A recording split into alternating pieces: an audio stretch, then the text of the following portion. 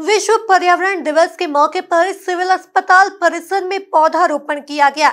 इस मौके पर प्रशासनिक अधिकारियों सहित मीडिया कर्मियों ने भी पौधे लगाए। देखिए रिपोर्ट। विश्व पर्यावरण दिवस के मौके पर श्रमजीवी पत्रकार संघ द्वारा कन्नौज सिविल अस्पताल परिसर में पौधारोपण किया गया। इस अवसर पर एसडीएम, एएसपी, तहसीलदार डॉक्टरों सहित मीडिया कर्मियों ने बड़ी संख्या में पौधे लगाए। पौधारोपण करने वालों का कहना है कि आने वाली पीढ़ी के लिए पौधे लगाना बहुत ज़रूरी है।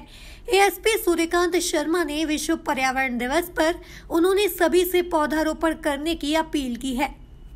खड़े हैं देवा ज़िले के कन्नौज में, अस्पताल परिसर में, जहाँ आज पर्यावरण दिवस को लेकर के, जो है, पौधारोपण किया गया है। और पौधारोपण किया गया है इस, इसी संदर्भ में हमारे साथ है क्षेत्र के एडिशनल एसपी महोदय श्री सूर्यकांत शर्मा जी, जिनसे हम जानेंगे आज पर्यावरण दिवस पर इन्होंने क्या संदेश देना चाहते हैं। सर, बताइए आज पर्यावरण दिवस है और इस पर आप क्षेत्र की जनता को क्या संदेश देना चाहेंगे? विश्व पर्यावरण दिवस पर मैं सभी से यह अपील करूँगा कि जो जीवनदायिनी प्राणवायु देने वाले हमारे पेड़ पौधे हैं जिनका लगातार कटाई के कारण विनाश हो रहा है और हम अभी पिछले अप्रैल माह में देखा है कैसे भयावह दौर से हम गुजरे हैं।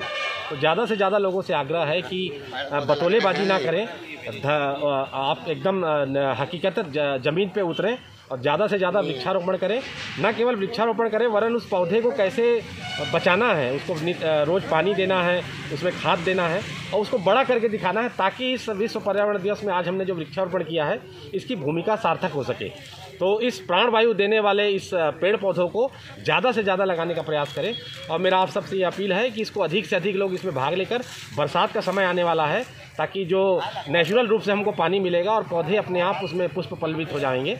तो मेरा सभी से आग्रह है कि ज़्यादा से ज़्यादा वृक्षारोपण करें। तो ये थे हमारे साथ additional S P Shri Sharma ji, जिन्होंने बताया कि आज पौधा तो लगाना ही है, लेकिन पौधा लगाने के साथ अपनी ज़िम्मेदारी तय करना है कि उसको पालना भी है। और इसी के साथ तमाम जो हमारे पत्रकार साथी हैं, वो भी यहाँ पे मौजूद है। एमपी न्यूज़ खातेगांव से राकेश सचिन